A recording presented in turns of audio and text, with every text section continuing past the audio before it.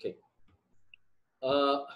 Bible మనం చదివేటప్పుడు ఎలా అంటే ఒక్కొక్క అంటే మనం మన డైలీ లైఫ్లో ఒక న్యూస్ పేపర్ తీసుకున్నాం అనుకోండి దాన్ని మనం చదివే విధానం వేరే ఉంటుంది. ఎందుకంటే న్యూస్ అనేవి డిఫరెంట్గా ఉంటాయి. అదేవిధంగా ఒక స్టోరీ బుక్ తీసుకుంటే దాన్ని చదివే విధానం వేరే ఉంటుంది.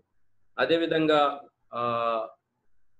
అంటే based on the type of literature Bible is a work of literature literature comes in different journals అంటే కేటగిరీస్ ఇప్పుడు మనకి తెలుగులో పద్య భాగం ఉంటుంది గద్య భాగం ఉంటుంది కొన్ని ఫిక్షన్స్ ఉంటాయి సైన్స్ ఫిక్షన్ ఉంటుంది లేకపోతే మెడికల్ టెక్స్ట్ బుక్ ఉంటుంది. కొన్నిటిని చాలా జాగ్రత్తగా చదవాలి. మనం సైన్స్ ఫిక్ ఒక నావెల్ని ఒక మెడికల్ టెక్స్ట్ బుక్ని చదివినట్టు ఒక పోయిటరీని చదవడానికి లేదు. సో బైబిల్లో there are different types of literatures బైబిల్లో there are different types of literatures so major journals ఏంటంటే నంబర్ వన్ ధర్మశాస్త్రం. ధర్మశాస్త్రంలో ఏముంటాయి? ఆ, లేవి కాండము నిర్గమకాండము లేవి కాండము సంఖ్యాకాండము ద్వితీయోపదేశకాండము వీటిలో ఏం రాయబడ్డది? ఆ దేశానికి రాజ్యాంగం రాయబడి ఉంది. ఆ దేశం యొక్క నియమాలు రాయబడ్డాయి. నైతిక నియమావళి న్యాయ పద్ధతి న్యాయము మెడికల్ సూత్రాలు ఏం తినాలి ఏం తినకూడదు సెరమోనియల్లా మోరల్లా రాయబడుతూ వచ్చాయి. రెండవది చరిత్ర గ్రంథాలు రాయబడ్డాయి. ఆది కాండము లేకపోతే ఆ, మొదటి రాజుల గ్రంథం రెండవ రాజుల గ్రంథం సమయల గ్రంథం చరిత్ర గ్రంథాలు రాయబడ్డాయి. విజ్డమ్ జ్ఞాన గ్రంథాలు ప్రసంగి సామెతలు జ్ఞాన గ్రంథాలు పోయట్రీ కీర్తనలు ఇవన్నీ కూడా పోయట్రీ నారేటివ్స్ ఉదాహరణకి రూత్ గ్రంథం. Ruth is not history it's a narrative it's a story epistles epistles అనేవి లెటర్స్ మనం అందుకోసమే చాలాసార్లు మనం చెప్పుకోవాల్సిన గమనించాల్సిన పాయింట్ ఏంటంటే లెటర్స్ని చదివేటప్పుడు we have to read them in a sitting in a sitting single sitting లేకపోతే we may miss many patterns so బైబిల్లో ఉన్న లిటరేచర్స్ తర్వాత ఏడవది ప్రాఫెసీస్ ప్రవచన గ్రంథాలు ఉన్నాయి. భవిష్యత్తు ఇప్పుడు యశా గ్రంథం నలభై అధ్యాయం నుంచి అదంతా ఏంటంటే ఇస్రాయేలీల యొక్క భవిష్యత్తును గురించినటువంటి ప్రవచనాలు ఉన్నాయి. ఇక ఎనిమిదవది ఏంటంటే అపోకలిప్టిక్ లిటరేచర్ ఇదంతా మనకు తెలుసు. ధర్మశాస్త్రము చరిత్ర wisdom poetry narrative epistles prophecy ఇవి మనకు తెలుసు. మనకి అస్సలు పరిచయం లేని సంగతి ఏంటంటే ఈ లాస్ట్ వన్ ఏంటిది? అపోకలిప్టిక్ లిటరేచర్ ఎందుకంటే చాలా తక్కువ కనపడుతుంది. ఎక్కడ కనపడుతుంది? దానియల గ్రంథం. దానియల గ్రంథం అందరు చదువుంటారు నాకు తెలుసు కదా. కానీ ఎక్కడి వరకు మనకు బాగా గుర్తుంటుంది? ఆరో అధ్యాయంలో దానియల సింహాల భూమికి పోతాడు. అక్కడ వరకు we are very familiar but after that what happens అనేది ఆల్మోస్ట్ ఆల్ మనకి ఎవరికి కూడా we don't we are not much bothered ఎందుకంటే అది ఎపోకలిప్టిక్ లిటరేచర్ అన్నమాట. సో దీన్ని లిటరల్గా ఇంటర్ప్రిట్ చేయకూడదు. ఎపోకలిప్టిక్ లిటరేచర్ని లిటరల్గా మనకి ఏజికల్ గ్రంథం మొదటి అధ్యాయంలో కనపడుతుంది దాని తర్వాత ఇంకా వేరే చోట కనపడతాయి. అందుకోసమే దీన్ని లిటరల్గా ఇంటర్ప్రిట్ చేయకూడదు. అలగారికల్గా అంటే అలంకార ప్రాయంగా ఆ లా లాలో ఏమున్నాయి Leviticus Deuteronomy the purpose of law is to express God sovereign will concerning government priestly duties, social responsibility, knowledge of Hebrew manners, customs at that time, as well as knowledge of covenants, and will complement reading of this material. History law, stories and epics, uh, Genesis, Exodus, Numbers, Joshua, Judges, First and Second Samuel, First and Second Kings, First and Second Chronicles, Ezra, Nehemiah, Acts. These are all history. So హిస్టరీని మనం interpret చేసేటప్పుడు చాలా జాగ్రత్తగా ఉండాలి. దాంట్లోంచి మనం డాక్టర్స్ని derive చేయకూడదు. History is history wisdom wisdom is జ్ఞాన గ్రంథం. అంటే సలహాల గ్రంథం అన్నమాట. ప్రావర్బ్స్ జోబ్ ఎక్లిజియాస్ట్ ఆర్ ప్రసంగి గ్రంథం. పోయట్రీ అంటే మనం జేమ్స్ సల్మాన్ అంకుల్ నేర్పించాడు. ఏం నేర్పించారు? Parallelism metaphors song of Solomon lamentations కీర్తనలు. చాలా కీర్తనలు దావేది రాశాడు. ఆయన మ్యూజిషియన్. కాబట్టి ఆయన రాసేటప్పుడు వర్షిప్ లీడర్ ఆసాప్ రాశాడు. అంటే పోయట్రీని అదే పోయట్రీ ఫ్లో ఇంగ్లీష్లో ఉండదు. కాబట్టి మనం దాన్ని లిటరల్గా అక్కడ తీసుకోలేము సో ఇంకా నెక్స్ట్ ఏంటంటే నారేటివ్ చెప్పాను కదా Ruth Esther Jonah all these are narratives గాస్పల్స్లో కూడా నారేటివ్స్ ఉంటాయి. పారబుల్స్ ఆలివెట్ డిస్కోర్స్ ఇట్లాంటివన్నీ కూడా. ఇకపోతే epistles epistles is a letter ఉత్తరాలు. ఉత్తరం అనగానే there will be an addressing అక్కడ ఒక ఏమంటాము ఒక సంబోధన ఉంటుంది. ఉదాహరణకి వాళ్ళని మెచ్చుకుంటాడు వాళ్ళని తిడతాడు వాళ్ళకి ఎక్స్ప్లెయిన్ చేస్తాడు వాళ్ళలో తప్పులు సరిదిద్దుతాడు. ఆ, యేసు ప్రభు వారి బోధల గురించి చెప్తాడు. సో అక్కడ ఉన్నటువంటి వాళ్ళు బాగా అర్థం చేసుకుంటారు. దిస్ ఎపిజల్ ఇక మన లిటరేచర్కి వస్తే ఇప్పుడు మనం చదువుతానికి వస్తే prophecy and apocalyptic literatures prophetic writings ఏంటంటే మలాఖీలో ఐజియా నుంచి ప్రాతన బంధంలో ఐజియా నుంచి మలాఖీ వరకు కూడా ప్రాఫిటికల్ బుక్స్ అంటాం. దాని major prophets minor prophets divide చేసుకున్నాం. ఇక న్యూ టెస్టిమెంట్లో ఏంటి ప్రాఫెసి ప్రాఫిటికల్ బుక్ ఏంటంటే అపోకలిప్టిక్ లిటరేచర్ ఏంటంటే ప్రార్థన గ్రంథం అసలు అపోకలిప్టిక్ లిటరేచర్ అంటే మీకు అర్థమైంది కదా? పద్యాలు చదివేటప్పుడు మనం ఒక రకంగా చదువుతాం. గద్య భాగం చదివేటప్పుడు ఒక రకంగా చదువుతాం. అంటే ఇప్పుడు కొన్ని లిటరల్గా తీసుకుంటాం. ఎక్కడ? యసు ప్రవారు సెలవులో చనిపోయాడు. అంటే చనిపోయాడు. అదే టైంలో యేసు ప్రభు నేను ద్రాక్షవల్లిని అన్నాడు. అంటే యేసు ప్రభు నిజంగా ద్రాక్ష వల్ల కాదు. అక్కడ లిటరల్గా ఇంటర్ప్రిట్ చేయకూడదు. ఇప్పుడు అద్దంకి రంజిత్ ఓఫీర్ ఏం చెప్తాడు? ఆ ఇది నా శరీరం అంటే అది నిజంగానే శరీరం అవుతుంది. రోమన్ క్యాథలిక్ వాళ్ళు కానీ రంజిత్ ఓఫీర్ కానీ చెప్పే డాక్టర్ ఏంటంటే ఆ బలలో పాల్గొనేటప్పుడు అది నిజంగానే శరీరం అవుతుంది నిజంగానే రక్తం అవుతుంది. ఎందుకు? ఏం ఇంటర్ప్రిట్ చేస్తున్నారు వాళ్ళు? లిటరల్ ఇంటర్ప్రిటేషన్ చేస్తున్నారు. కానీ అన్ని చోట్ల మనం లిటరల్ చేయలేం. మాక్సిమం లిటరలే ఉంటుంది బట్ అన్ని చోట్ల లిటరేషన్ లిటరేచర్ లిటరల్ ఇంటర్ప్రిటేషన్ చేయలేం. There will be some symbolism so apocalyptic దాంట్లో ఫ్యూచర్ ఈవెంట్స్ గురించి వార్నింగ్స్ ఉంటాయి. కమింగ్ జడ్జిమెంట్ గురించి గాడ్స్ ప్లాన్ గురించి there will be symbols there will be it contains a specific form of prophecy. It involve symbols imagery, predicting disaster and destruction we find this type of literature language in Daniel seven uh, నుంచి అక్కడ మృగాలు జంతువులు కనపడతాయి. ఎజికియల్లో గ్రంథపు చుట్ట మూడో అధ్యాయంలో కనపడుతుంది. జకరియా గ్రంథంలో ఆ బంగారు దీపస్తంభం దగ్గర నాలుగు అధ్యాయంలో కనపడుతుంది.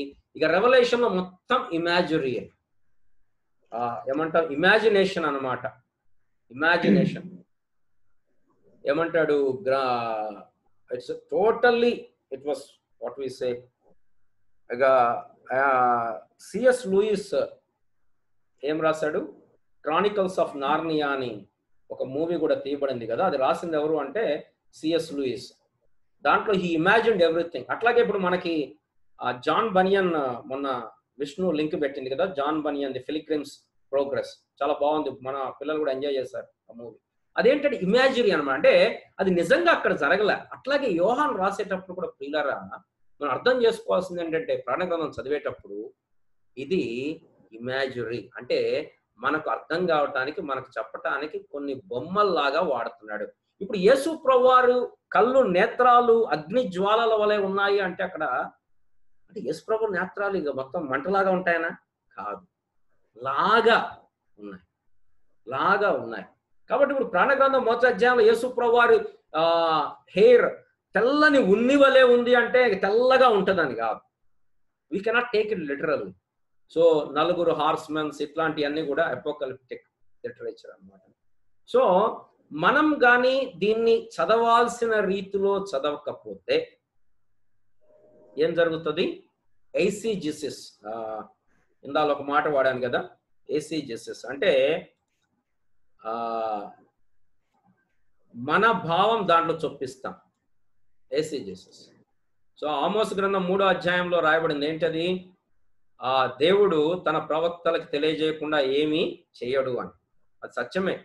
కానీ మనం సరైన రీతిలో చదవకపోతే మాత్రం మనం ప్రాణ గ్రంథం విషయంలో పొరపాటు పడేటువంటి ఆ, అవకాశాలు చాలా ఉన్నాయి ప్రియులర. కనుకనే ప్రార్థనా పూర్వకంగా మనం దీన్ని పూర్తిగా అర్థం చేసుకుంటామని కాదు కానీ దేవుడు మనకేం చెప్పాలనుకున్నాడు ప్రకటనలో దాన్ని మనం అర్థం చేసుకోవటానికి ప్రయత్నం చేద్దాం. సో దేవుడు అల్లరికి కర్తగాడు దేవుడు కన్ఫ్యూజన్ కర్తగాడు దేవుడు ఏది మనకు అర్థం కాని సంగతులు మనం అర్థం చేసుకోలేక బుర్ర బద్దలు కట్టుకునే సంగతులు దేవుడు మనకి రాయలేదు. రైట్ దేవుడు ఏం చెప్పినా మనం అర్థం చేసుకోవడానికి మనం కరెక్ట్గా ఇంటర్ప్రెట్ చేసుకోవడానికే రాశాడు. ఇది మనం మనసులో పెట్టుకొని మనం భయపడకుండానే మనం ఈ గ్రంథాన్ని ధ్యానించటానికి ప్రయత్నం చేయవచ్చు. So the most important thing we are studying, we should know the technique of symbolism అంటే ఏమేమి సింబల్స్ వాడుతున్నాడు? ఒక క్యారెక్టర్ని చెప్పడానికి ఒక సింబల్ వాడతాడు. ఏమేమి సింబల్స్ వాడుతున్నాడు? ఫర్ ఎగ్జాంపుల్ యశు ప్రవార్ని ఇక్కడ గొర్రె పిల్లతో పోల్చాడు. సంఘాన్ని దేంతో పోల్చాడు? దీప స్తంభములతో పోల్చాడు. దీపములతో పోల్చాడు. ఆ సంఘం యొక్క దూతలు అని చెప్పాడు. ఏడు తలలు పది కొమ్ములు. సో కొన్నిసార్లు సింబల్స్ ఫెమిలియర్ అనిపిస్తాయి కొన్నిసార్లు చాలా స్ట్రేంజ్ అనిపిస్తుంది. యానిమల్స్ ప్రాణగ్రంథాలు ఎక్కువ ఏం కనపడతాయి మనకి? మృగాలు కనపడతాయి కలర్స్ కనపడతాయి. పాండుర వర్ణము అంటాడు ఆ ఆ, ధవల వర్ణము తర్వాత ధూమ్ర వర్ణము ఆత్మలు కనపడతాయి చెట్లు కనపడతాయి పట్టణాలు కనపడతాయి ఏంజల్స్ కనపడతారు జీవులు కనపడతారు. దీస్ ఆర్ ఆల్ ఇమాజినరీ అన్నమాట. కాబట్టి దీన్ని చదివేటప్పుడు లిటరల్ ఇంటర్ప్రిటేషన్ కాదు కానీ we have to understand the whole concept so సరే దీన్ని millennium there are three different views that I will cover next week ఇక్కడ మీకు ఒక అవుట్లైన్ మాత్రం ఇచ్చి I will close this session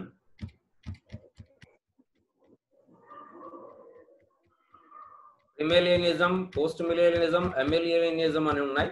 ఇవి నెక్స్ట్ వీక్ నేను I cover what are the different things అని అనేది. అవుట్లైన్ తన చెప్పి నేను ముగిచ్చేస్తాను.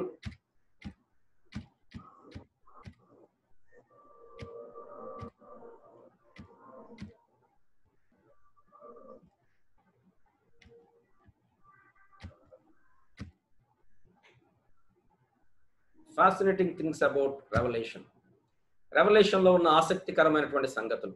It's a book of prophecy మనకు చెప్పాడు మనకి ప్రవచన వాక్యాలు అని చెప్పాడు. మనకి ఆశీర్వాదం ఉంది దీన్ని చదివేవారు వినేవారు గైకొనేవారు వారికి ప్రత్యేకమైన ఆశీర్వాదం రాయబడింది అంత మాత్రమే కాదు ప్రియులరా ఓల్డ్ టెస్ట్మెంట్లో యేసు ప్రవారు రెండవ రాకడ గురించి. అయితే యేసు ప్రభువారు ఈ లోకంలోకి వచ్చి పరిపాలిస్తాడు అనేటువంటిది పద్దెనిమిది వందల నలభై ఐదు సార్లు రెఫరెన్స్లు ఉన్నాయి. నిజంగా చూస్తే యేసు ప్రభువారి మొట్టమొదటి రాకడ కంటే రెండవ రాకడ గురించి ఎక్కువ రెఫరెన్స్లు ఉన్నాయి. పదిహేడు పాత నిబంధన గ్రంథాలు ఈ యేసు ప్రభువారి రెండవ రాకడ గురించి ఎక్కువ రాయబడుతుంది కొత్త నిబంధనలో ఉన్న రెండు వందల పదహారు అధ్యాయాల్లో మూడు వందల పద్దెనిమిది రెఫరెన్స్లు యేసు ప్రభువారి రెండవ రాకడ గురించి రాయబడుతూ వచ్చింది. అంతేకాదు ఉన్న ఇరవై ఏడు పుస్తకాల్లో ఇరవై మూడు పుస్తకాల్లో రెండవ రాకడ గురించి రాయబడి రాయబడింది. అంటే నాలుగు పుస్తకాలు రాయబడలేదు. అవి ఏ పుస్తకాల్లో I will try to find it out నాకు ఇప్పుడు ఐడియా వచ్చింది. బహుశా ఫిలెమోన్ అట్లాంటివి ఏమన్నా అయి ఉండొచ్చు. సో యేసు ప్రభువారి మొదటి రాకడ గురించి ఒక్క ప్రవచనం ఉంటే యేసు ప్రభువారి రెండవ రాకడ గురించి ఎనిమిది ప్రవచనాలు ఉన్నాయి అంటే వన్ ఇస్ టు ఎయిట్ అనమాట యశు ప్రభువారి మొట్టమొదటి రాకడ గురించి ఒక ప్రవచనం ఉంటే యశు ప్రభువారి రెండవ రాకడ గురించి ఎనిమిది ప్రవచనాలు ఉన్నాయి. అంటే how important is second coming and it's full of numbers కదా? ఎక్కువ నంబర్స్ ఉంటాయి. ఏడు ఎక్కువ. ఏడు అనేది almost all I think more than fifty times ఉన్నట్టుంది. ఏడు సంఘాలు ఏడు ముద్రలు ఏడు బూరలు ఏడు పాత్రలు ఏడు దీపస్తంభాలు ఏడు ఆత్మలు ఏడు నక్షత్రాలు ఏడు దీపములు ఏడు వాగ్దానములు జయించువానికి ఏడు కొమ్ములు ఏడు నేత్రములు ఏడు దూతలు ఏడు ఉరుములు ఏడు వేయులు ఏడు తలలు ఏడు కిరీటాలు ఏడు తెగుళ్ళు ఏడు పర్వతాలు ఏడుగురు రాజులు ఏడు ధన్యతలు. అంటే ఈ పుస్తకంలో ధన్యుడు అనే మాట ఏడు సార్లు రాయబడుతూ వచ్చింది. ఈ పుస్తకం చదువువాడు వినువాడు దాన్ని గైకొనవాడు ధన్యుడు. ఇక నుంచి మృతులైన వారు ప్రభునందు మృతులైన వారు ధన్యులు. ఆ మెలకువగా ఉండి తన వస్త్రమును కాపాడు దిశముల కనపడకుండా వస్త్రమును కాపాడుకునేవాడు ధన్యుడు. పంతొమ్మిది తొమ్మిదిలో గొర్రెపిల్ల వివాహ పెండ్లి విందుకు పిలువబడిన వారు ధన్యులు. ఇరవై అధ్యాయం ఆరో వచనంలో మొదటి పునరుత్నంలో పాలు పొందువారు ధన్యులు. ఇరవై రెండో అధ్యాయం ఏడవ వచనంలో ఈ ప్రవచన వాక్యములు గైకొనువాడు ధన్యుడు ఏడు ధన్యతలు రాయబడుతూ వచ్చాయి. దాని తర్వాత ఇరవై రెండు పద్నాలుగులో ఆ ఈ ప్రవచన వాక్యములను ఈ ఆజ్ఞలను గైకొని వారు ధన్యులు. వారు జీవగ్ర జీవ వృక్షంలో పాలు పొందుదురు. సో ఏడు అనేది డామినెంట్గా కనపడుతుంది. యేసు ఈ గ్రంథంలో కూడా సెవెన్ అయామ్స్ యోహాన్స్ వార్తలో కూడా సెవెన్ అయామ్స్ ఉన్నాయి. ఏమున్నాయి? నేను లోకమునకు వెలుగును నేను జీవాహారము నేను గొర్రెలకు మంచి కాపరిని నేనే మార్గము సత్యము జీవము ఇంకా నేను ద్రాక్షావల్లిని. నేను దవ- ద్వారమును. సెవెన్ వచ్చేసాయా? పునరుద్ధానము జీవము నేనే. పునరుత్నమును జీవం సెవెన్. సో ఇక్కడ కూడా ప్రాణ గ్రంథం కూడా సెవెన్ ఐఆమ్స్ ఉన్నాయి. I am the alpha and omega. మొదటి అధ్యాయం ఎనిమిదో వచనం. మొదటి అధ్యాయం పదకొండవ వచనంలో నేను మొదటి వాడను కడపటి వాడను. మొదటి అధ్యాయం పదిహేడవ వచనంలో I am the first and the last పద్దెనిమిదిలో నేను జీవించువాడను మృతుడనైతిని గాని ఇదిగో యుగయుగములు సజీవుడను. ఇరవై ఒకటో అధ్యాయం ఆరో వచనంలో నేను అల్ఫా ఒమేగా ఆది నుండి అంతం వరకు ఉన్నవాడను. ఇరవై రెండు పదమూడులో నేను ఆదియు అంతమునై ఉన్నవాడను. ఇరవై రెండు పదహారులో ఆ దావీదు వేరు చిగురును ఉదయ నక్షత్రమును ప్రకాశ నక్షత్రమునై ఉన్నాను. ఏడు అయాంస్ అనేవి కనపడతాయి. పరలోకంలో ఏడు ఆరాధనలు మనకి ఈ గ్రంథంలో కనపడతాయి. ఈ ఈ గ్రంథాన్ని ఆరాధనల గ్రంథం అని చెప్పొచ్చు. నాలుగో అధ్యాయం తొమ్మిది నుంచి పదకొండు ఒక ఆరాధన కనపడుతుంది. ఐదో అధ్యాయం ఎనిమిది నుంచి పదమూడు ఇంకొక ఆరాధన కనపడుతుంది. పురాణ గ్రంథం ఏడో అధ్యాయం తొమ్మిది నుంచి పన్నెండు ఇంకో ఆరాధన కనపడుతుంది. పదకొండో అధ్యాయం పదహారు నుంచి పద్దెనిమిది ఆరాధన కనపడుతుంది. పద్నాలుగో అధ్యాయం రెండు మూడు వచనాల్లో ఒక ఆరాధన కనపడుతుంది. పదిహేనో అధ్యాయం రెండు నుంచి నాలుగు వచనాల్లో ఒక ఆరాధన కనపడుతుంది. పంతొమ్మిదో అధ్యాయము మొదటి ఆరు వచనాల్లో కూడా ఆరాధన ఏడు ఆరాధనలు. డాక్సాలజీస్ అంటే ఆరాధనలు మహిమపరచటాలు మనకు కనపడతాయి. ఏడు కొత్త సంగతులు కూడా కనపడతాయి. ఏంటి ఆ కొత్త సంగతులు? నూతన భూమి నూతన ఆకాశము ఏడు సంగతులు కనపడతాయి. కదా? దేర్ ఆర్ వెరీ నంబర్స్ నాలుగు నాలుగు దిక్కులు నలుగురు దూతలు నాలుగు ఆ ఏమంటాము? నాలుగు అంచులు. పది అనేది కూడా ఎక్కువ సార్లు కనపడుతుంది పది తల పన్నెండు. పన్నెండు ఆయన శిష్యులు ఆయన గోత్రాలు ఇరవై నాలుగు పెద్దలు ఆరు వందల అరవై ఆరు నంబరు నూట నలభై నాలుగు వేలు అంటే పన్నెండు ఇంటూ పన్నెండు పన్నెండు గుమ్మములు పన్నెండు ముత్యాలు పన్నెండు ద్వారాలు నలుగురు గుర్రపువారు పది రాజులు వెయ్యి సంవత్సరాలు. సో దేవుడు అనే పదం తొంభై తొమ్మిది సార్లు కనపడుతుంది. భూమి ఎనభై ఒక్క సార్లు. గొప్ప అనే పదం డెబ్బై రెండు. పరలోకం యాభై ఆరు. ఏడు యాభై నాలుగు దూత డెబ్బై ఆరు ఉగ్రత పదమూడు. అమేజింగ్ అనాలిసిస్ అనమాట దీనిలో. సో అవుట్లైన్ చెప్పేసి నేను ముగిచ్చేస్తాను. బైబిల్లో ఉన్న గ్రంథాలన్నింటిలో మనం చదివేటప్పుడు చాలా కష్టమైన సంగతి ఏంటంటే అవుట్లైన్ చేయటం. అది లేకపోతే మనం దారి తప్పుతాం. బైబిల్లో ఉన్న గ్రంథాలన్నింటిలో అవుట్లైన్ ఆ పుస్తకంలోనూ ఉన్న గ్రంథం ఏంటంటే ప్రాణ గ్రంథం మొదటి అధ్యాయం పంతొమ్మిదో వచనంలో ఉన్న వాటిని నీవు చూచిన వాటిని ఇక మీదట జరగబోవు వాటిని రాయమన్నాడు. కాబట్టి ఉన్న సంగతులు అంటే మొదటి అధ్యాయము సూచన సంగతులు అంటే మొదటి అధ్యాయము ఉన్న సంగతులు అంటే రెండు మూడు అధ్యాయాలు కలగ సంగతులు అంటే నాలుగు నుంచి ఇరవై ఆరు ఇరవై రెండు. చూసిన సంగతి మొదటి అధ్యాయం. ఉన్న సంగతులు రెండు మూడు అధ్యాయాలు సంఘాలకు ఉత్తరాలు. అండ్ నాలుగు నుంచి ఇరవై రెండు ఇక ముందు జరగబోయేటువంటి సంగతులు. ఇంకొక అనాలిసిస్ ఏంటంటే దీంట్లో మొత్తం ఏడు దర్శనాలు కనపడతాయి. మొదటి మూడు అధ్యాయాల్లో మొట్టమొదటి దర్శనం. దాంట్లో ఏం కనపడతాయి? ఏడు సంఘాలు కనపడతాయి. రెండవ దర్శనము నాలుగో అధ్యాయం నుంచి ఎనిమిదో అధ్యాయం మొట్టమొదటి వచనం వరకు. అక్కడ ఏడు ముద్రలు కనపడతాయి. మూడవ దర్శనము ఎనిమిదో అధ్యాయం రెండవ వచనం నుంచి పదకొండో అధ్యాయం వరకు ఏడు బూరలు కనపడతాయి. Seven trumpets. నాలుగవ దర్శనము పన్నెండు నుంచి పద్నాలుగు వచనాలు పన్నెండు నుంచి పద్నాలుగు అధ్యాయాలు. బ్యాటిల్ అగెయిన్స్ట్ శాటన్ సాతానుకు వ్యతిరేకంగా యుద్ధం కనపడుతుంది. ఐదవది ఆ పదిహేను పదహారు అధ్యాయాల్లో ఏడు పాత్రలు తెగుళ్ళతో నిండిన ఏడు పాత్రలు కనపడతాయి. ఆరవ దర్శనము పదిహేడు నుంచి పంతొమ్మిది ఫాల్ ఆఫ్ బాబిలోన్ బబులోన్ పడిపోవటం మనం చూస్తాం. ఏడవది నూతన ఆకాశము నూతన భూమి. ఇరవై రెండు ఇరవై అధ్యాయము ఇరవై రెండో అధ్యాయం ఇవి ఈ ప్రణగ్రంథం యొక్క అవుట్లైన్ సో దీని గురించి మనం ఇంకా కొంత ఇంట్రడక్షన్ పార్ట్ వచ్చే వారం మనం కంప్లీట్ చేసిన తర్వాత మరలా అధ్యాయంలోనికి వెళ్దాం. So thank you very much Christy prayer చేస్తావా? విల్ క్లోజ్ ఇట్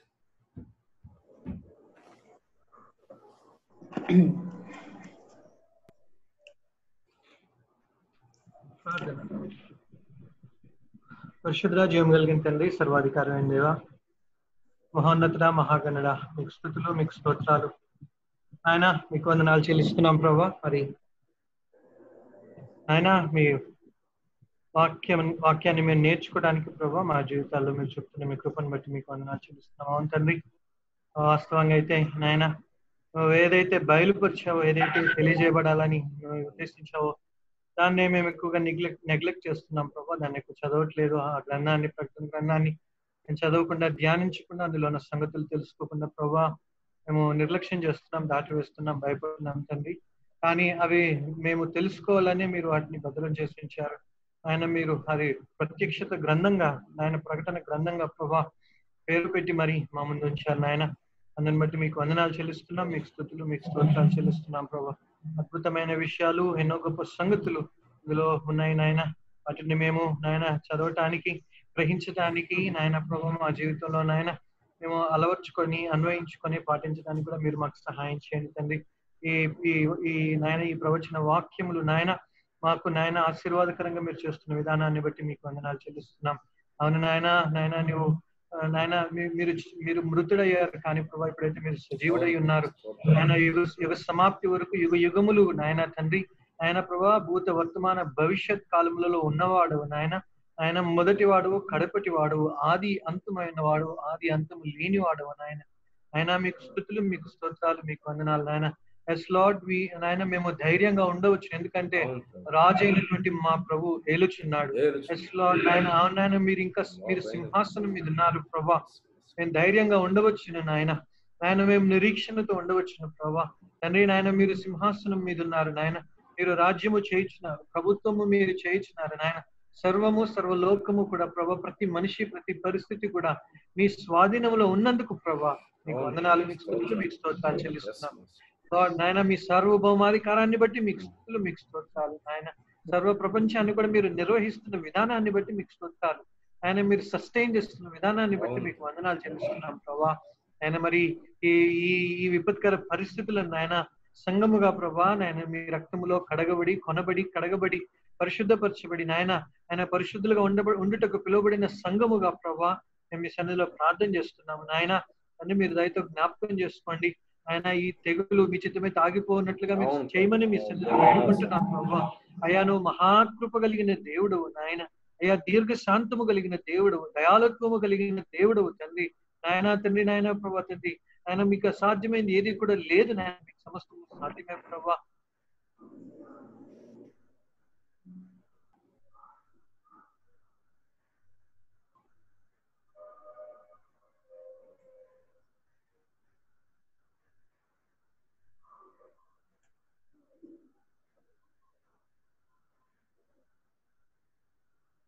తండ్రి మీ ఆత్మ కార్యాన్ని మీరు జరిగించండి ప్రభా నాయన.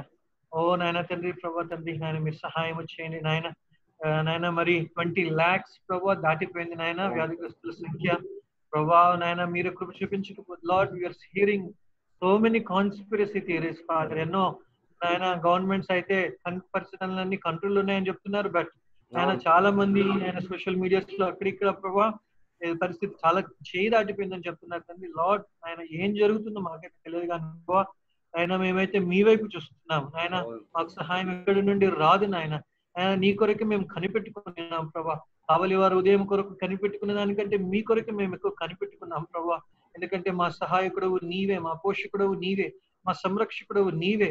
నాయన నాయన తండ్రి నాయన అంత్య దినం వరకు మమ్మల్ని కాపాడువాడు నీవే కనుక ప్రభా. నాయన పేతురు పేతురు అంటున్నాడు కదా నాయన నీ దగ్గర నుండి మేము ఎక్కడికి వెళ్ళగలము నాయన. నీవే నిత్య జీవపు మాటలు కలిగిన వాడు. నీవే దేవుని పరిశుద్ధుడు ప్రభా. ఆయన మీరే సహాయం చేయండి మీరే కృప చూపించండి. డిసీజ్ ఇంకెక్కువగా స్ప్రెడ్ అవ్వకుండా మీరు సహాయం చేయండి నాయన. అది ఆగిపోవడానికి మీరు కృపణను గ్రహించండి ప్రభా. అవునాయన తండ్రి ఎవరైతే నాయన డెత్ బెడ్ మీద ఉన్నారో ప్రభా ఈ రాత్రి నాయన అందరినీ మీరు ఇప్పుడే దర్శించండి పరిశుద్ధాత్మదేవ ఆయన తండ్రి వారితో మీరు మాట్లాడండి నాయన. ఎవరో ఒకరిని మీరు పంపించండి. స్వార్థ నాయన వారికి చేరినట్లుగా నాయన ప్రభా నాయన వార్డ్ బాయ్స్ని స్కావెంజర్స్ని నాయన క్లీనర్స్ని నర్సెస్ని డాక్టర్స్ని ప్రభా ఎవరో ఒకరిని మీరు నాయన వారి దగ్గరికి మీరు పంపించమని మీ సన్నిధిలో వేడుకుంటున్నాం నాయన. అయ్యా నాయన నాయన సిలువను గురించిన వార్తే ప్రభా ఈ ఈ సమయంలో ఎవరినైనా రక్షించగలదు నాయన. బంధకం నుంచి విడిపించగలిగినది మీ సిలువ వార్తే కనుక ప్రభా ఆ సిలువ వార్త సువార్త నాయన. నాయన నాయన ప్రభా నిజంగా డెత్ బెడ్ మీద ఉన్న వారికి నాయన రాత్రి చేరడానికి సహాయం చేయమని కోరుతున్నాను నాయన మరి నాయన నాయన పేదవారు నాయన తినడానికి తెలియలేక నాయన ఇబ్బందులు పట్టుకున్న వారిని జ్ఞాపకం చేసుకుంటున్నాం ప్రభా. ఆయన ఆకాశ పక్షులను పోషించే దేవుడు ఆయన ఆయన నీ బిడ్డలందరినీ కూడా పోషించండి. గవర్నమెంట్ ప్రాజెక్ట్స్ అన్ని కూడా ప్రభా ప్రతి రూపాయి కూడా వ్యర్థమైపోకుండా అవినీతి పాలవకుండా ప్రభా. ఆయన తండ్రి నాయన ప్రతి రూపాయి ప్రతి ఒక్కరికి ఉపయోగపడడానికి సహాయం చేయండి. ఆయన ఒక తెల్ల అయితే ముగ్గురు చిన్న బిడ్డలు పట్టుకొని ఆయన ఢిల్లీ నుంచి కాన్పూర్కి నడుచుకుంటా వస్తుంది ప్రభా. ఆ పిల్లలకి అయితే చెప్పులు కూడా లేవు నాయన. అయ్యో ఇట్లాంటి పరిస్థితుల్లో ఎంతో మంది ఉన్నారు ప్రభా. మీరే సహాయం ముఖ్యమని లో వేడుకుంటున్నాము నాయన. మరి నాయన కొంతమంది నాయన చిన్న చిన్న జాబ్స్ చేసుకుంటున్నారు ప్రైవేట్ జాబ్స్ చేసుకుంటున్న వారికి నాయన శాలరీస్ రావట్లేదు ప్రభా. ఆయన నాయన ప్రభా మీరే నాయన సహాయం చేయండి. దారులు తెరవండి నాయన. ద్వారాలు తెరవండి ప్రభా. తండ్రి మీకు అసాధ్యమైంది ఏది కూడా లేదు నాయన. మేమైతే సుఖంగా సౌఖ్యంగా ఉన్నాము ప్రభా. మరి మా సంఘంలోనే కొంతమంది ఇబ్బందులు పడుతున్న వారు ఉండుండవచ్చును తండ్రి. మా చుట్టుప్రక్కల ఇబ్బందులు పడుతున్న వారు ఉండుండవచ్చును ప్రభా. Help open up our eyes father మా కన్నులు తెరవండి నాయన. ఆయన నిజంగా ఎవరైతే నీట్లో ఉన్నారో వారిని రీచ్ అవ్వడానికి ప్రభా ఆయన మా కన్నులు తెరవండి ద్వారాలు తెరవండి. మీ ఆత్మ కార్యాన్ని జరిగించండి ప్రభా మరి ఎకానమీ అయితే ఎంతో కొలాప్స్ అయిపోయింది తండ్రి. ఆయన తండ్రి నాయన ప్రభా రీస్టోర్ అవ్వడానికి చాలా road Lord we believe in your father ఫ్యామిలీస్కి నాయన క్రష్ డౌన్ అయిపోకుండా నాయన నాయన అప్పుల బాధల్లో నాయన కుటుంబాలు కూరుకొని పోయి నాయన ఆ వెయిట్ కింద క్రష్ అయిపోకుండా ప్రభా మీరే కృపను అనుగ్రహించమని కోరుతున్నాం ప్రభా. మీరే సహాయం చేయండి మీరే కృప చూపించండి. నాయన నాయన ప్రభా నాయన తండ్రి నాయన తండ్రి నాయన రక్షకుడు నీవని ప్రభా. ప్రతి కుటుంబము నాయన నీ వైపు తిరగడానికి ప్రతి వ్యక్తి మీ వైపు తిరగడానికి ప్రభా.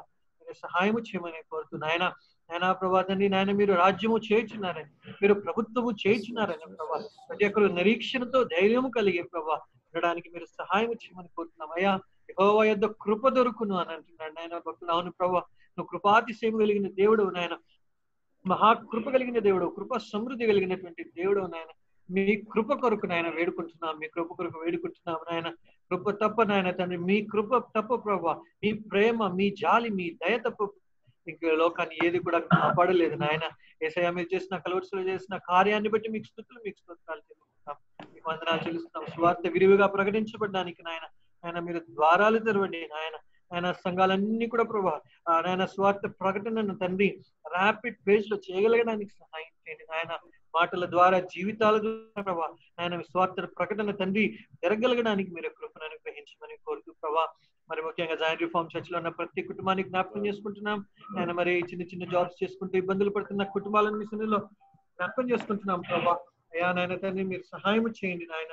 అయ్యా మీరు కృప చూపించండి మీరు కరుణించండి మీరు కనికరించండి. తండ్రి మీకు సాధ్యమైనది ఏది కూడా లేదు నాయన. మీ ఆకాశపు వాకిలిని విప్పండి మీ ద్వారాలు తెరవండి నాయన. అయా నాయన కరువులో సైతం ఏలియాను సారేపతి విధవరాల కుటుంబాన్ని పోషించిన దేవుడు. ఆయన నలభై సంవత్సరాలు నాయన ఇస్రాయల్ ప్రజలను ఆకాశం నుండి మన్నాను కురిపించి పోషించిన దేవుడు నాయన. మీకు సాధ్యమైన ఏది కూడా లేదు ప్రభా. మరి చంటి బిడ్డలు కుటుంబాలు ఉన్నాయి. ఆయన నాయన వారి డైలీ నీడ్స్ మీట్ అవ్వగలిగినట్టుగా ప్రభా మీరు కృపను అనుగ్రహించమని కోరుతున్నాం ప్రభా. మీరే సహాయం చేయండి మీరే కృప చూపించండి మీరే కరుణించమని కోరుతున్నాం ప్రభా. సెల్ఫ్ సెంటర్డ్నెస్ అనేది ప్రభా మనుషుల్లో నుంచి తీసి మనుషుల నుంచి అది పోవడానికి సహాయం చేయండి నాయన. ఇందువల్ల నీ పొరుగు వారిని ప్రేమించని చెప్పిన ఆజ్ఞను ప్రభా ప్రతి ఒక్కరు పాటించడం ప్రతి బిడ్డకు మీరు irrespective of religion Christian non Christian ప్రభా ప్రతి ఒక్కరు నాయన ఆ కంపాషనేట్ హార్ట్ ప్రభా కనికరం కలిగిన హృదయం నాయన ప్రతి ఒక్కరిలో మీరు పుట్టించమని కలుగు చేయమని మీ సన్నిధిలో వేడుకుంటూ అని మీరు మాకు ఇచ్చిన మీ పాదాల దగ్గర కూర్చొని నాయన నేర్చుకోవడానికి మీరు ఇచ్చిన సమయం కొరకు మీకు వందనాలు చెల్లిస్తున్నాం. ధనాన్ని బట్టి మీకు వందనాలు నాయన. మీ బిడ్డకి ఇచ్చిన మీ ప్రత్యక్షతను బట్టి మీకు వందనాలు. ఆయన మీరు నేర్పిస్తున్న విధానాన్ని బట్టి మీకు స్థుతులు స్తోత్రాలు చెల్లిస్తున్నాం. ఇంకొను మీ ఆత్మతో అభిషేకించండి. మీ జ్ఞానముతో మీ జ్ఞానముతో నింపి ప్రభా. సంఘానికి ఆయన పిల్లలకు కావాల్సిన మాటలన్నింటినీ కూడా ప్రభా మీరు అనుగ్రహించమని కోరుతున్నాము నాయన. ఆయన మీ ఆత్మకార్యాన్ని సంఘములో నాయన బిడ్డల జీవితాలు కుటుంబాల్లో జరిగించమని కోరుతూ ప్రభా అయితే నెక్స్ట్ టైం మేము కలుసుకునే పర్యంతరం సన్నిధిని మాతో కూడా కోరుతూ యేసుక్రీస్తు నామంలో ఆయన విన్నటువంటి ఈ మాటలన్నీ కూడా మేము హృదయంలో భద్రపరచుకోవడానికి సహాయం చేయమని కోరుతూ యేసుక్రీస్తు నామంలో ప్రార్థన అడిగి వేడుకొంచున్నాము తండ్రి. Okay brother praise Lord praise అన్న. Lord